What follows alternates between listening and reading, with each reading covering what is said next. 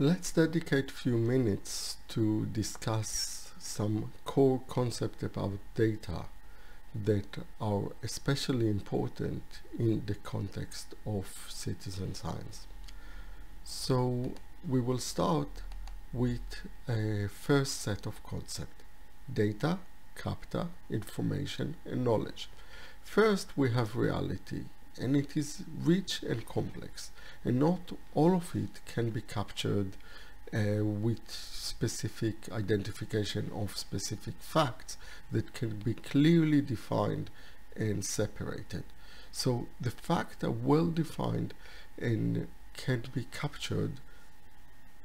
We call that type of uh, thing data. Above data, we will use the idea of capta facts that are actually collected from the real world.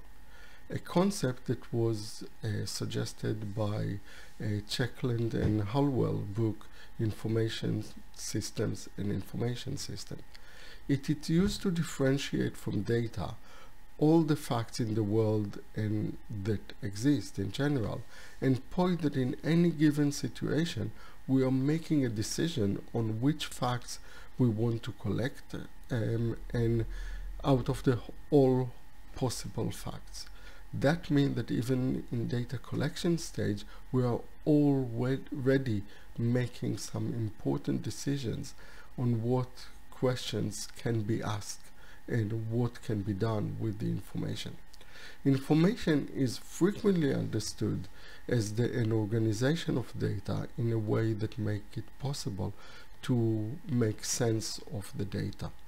Information can uh, be turning data that we have collected, so what we have just called capta, into a table that allow us to examine the changes throughout the day or uh, by marking the different hours as an organizing aspect.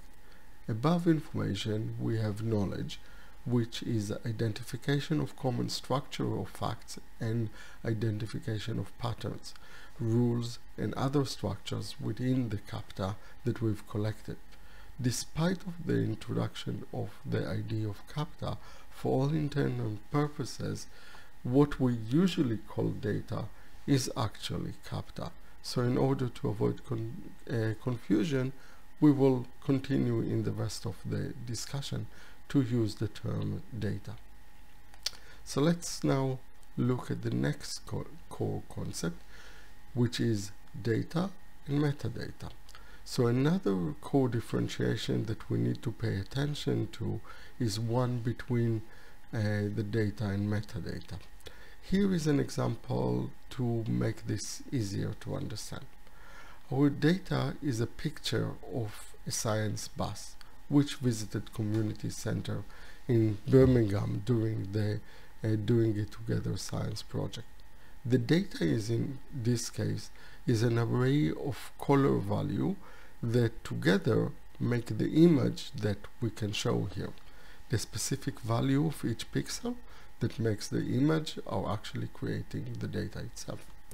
However, we want to capture further information about the image, which camera was used, what's the resolution of the camera, the date, the time, the location, and things like that. Now in image formats like as JPEG, include an element called EXIF, E-X-I-F, which is a piece of information for a, or a collection of facts about the image, which is the main data. So it all comes together in one file, but actually we have the data and then we have data about the data which is metadata. Metadata is very valuable in analysis process and can be used in many many ways to help make sense of the data itself. The final concept that we uh, worth covering when talking about citizen science is interoperability Interoperability are a set of standards, this time uh, meaning an official agreement about the structure, content and all sort of other technical detail which facilitate the ability of one computer system to exchange data with and information with another system. Here we see the general concept, uh, conceptual framework of the Cobweb project and you'll note that there are relationship to the Open Geospatial Consortium, the Group on Earth Observation and the European Inspire Directive. All those bodies are actually setting standards on how information about the environment can and should be shared and this need to be taken into account when you're organizing and sharing citizen science data.